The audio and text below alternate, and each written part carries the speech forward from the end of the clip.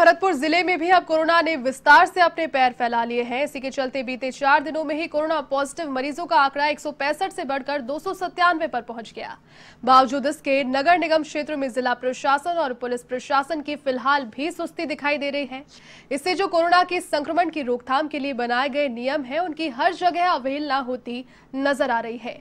Corona virus ने अब police सब्ज़ी विक्रेताओं तथा चिकित्सा विभाग में भी अपनी दस्तक दे दी है। जी हाँ, भरतपुर नगर निगम के लगभग तीन दर्जन कॉलोनीज में कोरोना के पॉजिटिव फ़िलहाल मरीज़ मिले हैं।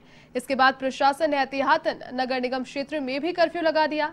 बाज़ार का समय भी सुबह आठ बजे से दोपहर एक बजे तक के लिए किया गया, लेकिन जिला प्रशासन और पुलिस प्रशासन की लापरवाही का आलम यह है कि बाज़ार में लोगों की भीड़ यहाँ पर जमी रहती है।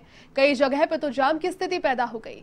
दुकान पर सामान लेने के लिए ग्राहकों के लिए बनाए गए घेरे अब अपना महत्व खो चुके हैं। दुकान पर आए व्यक्ति को सामान लेने की इतनी जल्दी होती है। प्रशासन ने सभी के लिए मास्क पहनना अनिवार्य किया है, लेकिन प्रशासन की सख्ती के अभाव में जनता अब लापरवाह हो गई है।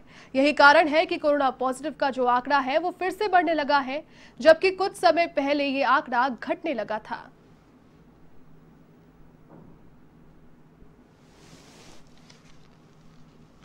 भरतपुर ज़िले को मैं खास तौर पर अपील करना चाहूँगा कि जिस तरह से चौथे लॉकडाउन के अंदर, भरतपुर के अंदर मरीजों की संख्या में पॉजिटिव केसेस की संख्या में इजाफा हुआ है, उसको देखते हुए हमें बहुत सतर्क रहने की ज़रूरत है।